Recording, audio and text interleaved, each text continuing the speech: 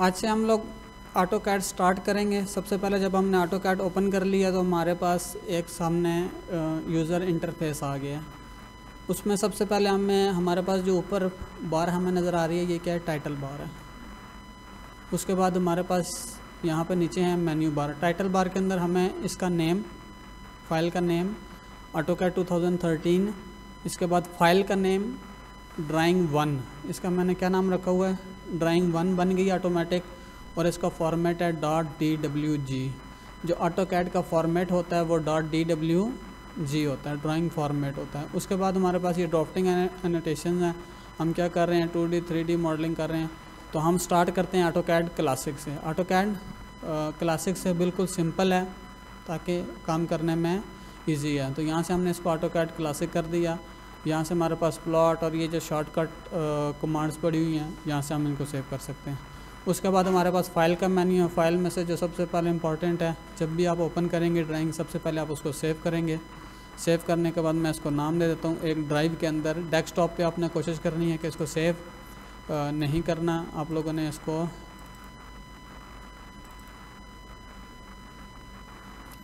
जो एक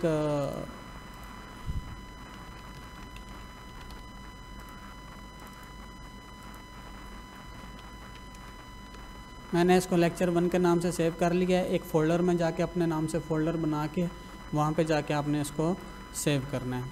तो सबसे पहले हमने अपनी इस नई ड्राइंग शीट को क्या कर लिया है?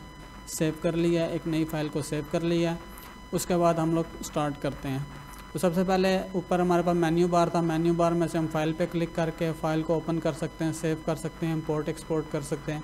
इसके बाद एडिट में जाके कोई ऐसी चीज़ जिसको आप एडिट करके उसको कॉपी पेस्ट कुछ ऐसी चीज़ करना चाहें तो आप कर सकते हैं।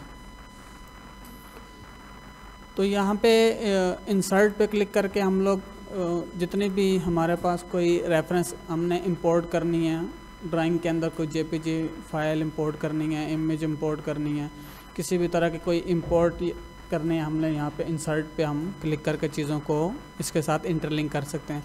फॉर्मेट में ये होता है कि कुछ चीज़ें, जो चीज़ें आपसे इंटरलिंक कमांड है, किसी कमांड को फॉर्मेट ये होता है कि आपने उससे मुतलिक कोई सेटिंग्स करनी है। यूनिट सेटिंग्स हो गई, और बहुत तरह की कलर पॉइंट स्टाइल हो गए, जो चीज़ें आप वहाँ पे कमांड के तौर पर यूज़ करेंगे, उनकी कमांड की फॉर्मेशन के लिए जो हमारे पास एक फॉर्मेट का टेबल होता है। टूल्स हमारे पास बहुत सारे पड़े हुए हैं, जो टूल्स के तौर पर हम इनको यूज़ करेंगे। इसके बाद ड्रा की जाए हमारे पास कोई चीज़ हम ड्रा करना चाह रहे हैं, उससे रिलेटेड ड्रा में हमारे पास सारी चीज़ें पड़ी हुई हैं। डायमेंशंस डायमेंशन से रिलेटेड दो, बहुत तरह की डायमेंशंस होती हैं, वो हम यहाँ से देख सकते हैं। मॉडिफाई, किसी चीज़ को मॉडिफाई करने के लिए, उसके अंदर कोई तब्दीली, कटिंग, पेस्टिंग करने के लिए मॉडिफाई कमांड यूज़ होगी। पैरामीटर्स में फिर हम और तरह की चीज़ें, सेटिंग्स, उनकी बारे में कुछ सेटिंग्स देखेंगे। विंडो में हम लोग टाइटल्स और इन चीज़ों को या ड्राइंग्स के बारे में देखते हैं। जैसे आप, अगर आप फोटोशॉप में देखें तो वहाँ पे आपके पास कोई शॉर्टकट्स इस किस्म की चीज़ें आती हैं। हेल्प ये होती है कि कोई चीज़ ख़राब हो गई है ऑटो कैड के अंदर कोई इशू आ रहा है तो हम ऑनलाइन अगर हेल्प लेना चाहें तो यहाँ से ले सकते हैं। एक्सप्रेस में हमारे पास बहुत सारी सेटिंग्स हैं। टैक्स से रिलेटेड लेआउट्स और इन चीज़ों से ड्रा से रिलेटेड कोई चीज़ ब्रेक लाइन सिंबल लगानी है, कोई ऐसी चीज़ें लगानी है तो हम यहाँ से जाके लगा सकते हैं। इसके बाद डाटा व्यू है कि हमारे पास कोई डाटा से रिलेटेड कोई ऐसी चीज़ें हैं। तो ये बेसिकली हमारे पास मेन्यू बार है। आप अपने काम से रिलेटेड उससे कुछ चीज़ें मिलता जुलता अगर आपको कोई कमांड चाहिए, कोई कमांड भूल गई है, कोई समझ नहीं आ रहा तो आप यहाँ से जाके इसको देख सकते हैं। इसके बाद यहाँ पे हमारे पास टाइटल बार है। ये वाली जो टाइटल बार के अंदर जो है सॉरी टूल्स बार तो टूल्स बार के अंदर यहाँ पे हमारे पास ये टूल्स डिफरेंट पड़े हुए हैं, जो शॉर्टकट टूल्स हैं। साथ ये भी टूल बार पड़ी हुई है हमारे पास, अगर आप यहाँ से यूज़ करना चाहें तो। इसके बाद हमारे पास ये एक फॉर्मेट बार है, जो हम लोगों ने अपने मर्ज़ी के मुताबिक यहाँ पे ये फॉर्मेट बार एडजस्ट की हुई हैं। अगर आप इनको ख़त्म करना चाहें तो यहाँ से इसको आप रिमूव भी कर सकते हैं, अगर आप इन बार्स को यूज़ ना करना चाहें तो। यहाँ से इनको रख के, यहाँ से आप ये उठाएँ और इनको यहाँ से ये क्लोज़ कर दें, ठीक है? और अगर क्लोज़ नहीं करना चाह रहे तो आप इनको यहाँ पे रखें राइट क्लिक करके यहाँ पे ऑटो कैड में आके ये जितनी बार्स हैं, जो चीज़ें आपको चाहिए, जो आपकी आसानी के लिए आपको रिक्वायर्ड हों, वो आप यहाँ से इनको ऑन ऑफ़ कर सकते हैं। यहाँ से मैं जो भी ऑफ़ ऑन कर रहा हूँ, जैसे वो ये लेयर्स की कमांड थी तो इसको मैंने यहाँ से ऑफ़ कर दी हैं। मॉडिफाई आ गया तो ये मॉडिफाई का भी चीज़ें ऑफ़ हो गई हैं। जो जो चीज़ें मुझे मेरी रेलिवेंसी बनती है कि मैं इन चीज़ों को शॉर्टकट तरीके से यूज़ करूँ तो मैं उनको सामने रख सकता हूँ। अदरवाइज़ मैं इनको ऑफ़ भी कर सकता हूँ। इनको यहाँ से उठा के हम एक शॉर्टकट ताकि आपने कोशिश ये करनी है कि आपका जो मैक्सिमम स्पेस है, वो वर्किंग स्पेस आपके पास ज़्यादा रहे, ताकि आपको काम करने में आसानी रहे। इसके बाद सबसे पहले हमने सेव कर ली फ़ाइल को। सेव करने के बाद हम फाइल्स के यूनिट्स को सेट करते हैं। यू एन इंटरप्रेस करते हैं। यूनिट्स की कमांड है यू एन यूनिट हम लोगों ने, क्योंकि हम लोग आर्किटेक्चरल के ऊपर काम करेंगे तो आर्किटेक्चरल के लिए हम सबसे पहले आर्किटेक्चर को क्लिक करेंगे। प्रिसेशन वन बाई एट भी हो सकती है। वन बाई सिक्सटीन भी डिग्री मिनट सेकेंड और ज़ीरो डिग्री मिनट और सेकेंड। ऊपर हमने डिग्री मिनट सेकेंड रखा है, zero degree, zero zero minute और ज़ीरो ज़ीरो सेकेंड। अब यहाँ पे एक जो निशान है वो शो करता है इंच को फुट को दो निशान शो करते हैं इंचज़ को। यहाँ पे एक निशान शो करता है, डिग्री को दो निशान शो करते हैं मिनट को। दो एक निशान किसको शो करता है? ज़ीरो डिग्री, ज़ीरो मिनट और दो निशान किसको करते हैं? सेकंड्स को, जब हम एंगल में बात करेंगे।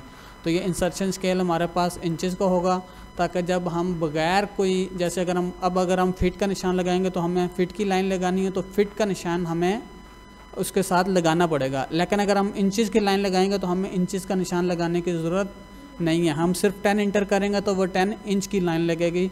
ये जो इंसर्शन स्केल है, वो उसको चीज़ को ज़ाहिर करेगा। मैंने इसको ओके कर दिया तो अब ये मेरे पास ड्राइंग के यूनिट्स सेट हो गए हैं। इसके बाद सबसे पहले जो कमांड है वो लाइन की कमांड है एल इंटर तो यहाँ से हमने एक लाइन लगा दी है और इसको अगर हमने स्ट्रेट लगाना है तो एफ़ एट ऑर्थो क्या करेंगे? स्टेटस बार में आएँगे स्टेटस बार में जाके जाके इसको हम ऑर्थो को ऑन ऑफ़ कर सकते हैं। तो यहाँ से हमने एक लाइन लगा दी है, इसको हम दोबारा से ज्वाइन कर सकते हैं। यहाँ से ये चीज़ें। अब ये जो इसने, ये जो आप लाइन लगा रहे हैं तो यहाँ से जब आप इसको ये क्लिक करते हैं, ऐसे जब आप क्लिक करते हैं तो यहाँ पे क्या करता है? यहाँ से ये ये क्लिक कर रहा है।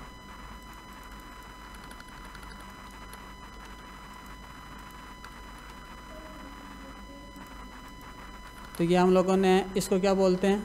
ओ स्नैप्स क्या चीज़ है? ओ स्नैप्स है। यहाँ पे ये ओ स्नैप्स है। ऑब्जेक्ट स्नैप ओ से क्या मतलब? Object snap F three and F eight अगर मैं इसको क्लिक करूँगा तो ये क्या हो जाएगा? अब यहाँ से आपका ये कॉर्नर पॉइंट नहीं पकड़ेगा। इसकी डिटेल में लेक्चर हम पूरा लेंगे, लेकिन अभी सिर्फ़ क्योंकि आपने एक प्रैक्टिस स्टार्ट करनी है तो जो इससे रिलेटेड कमांड है वो मैंने आपको ये बता दिए अब ये उसको क्या कर रहे हैं? तो यहाँ से मैं क्लिक करके इसको यहाँ से ये लाइन लगा सकता हूँ।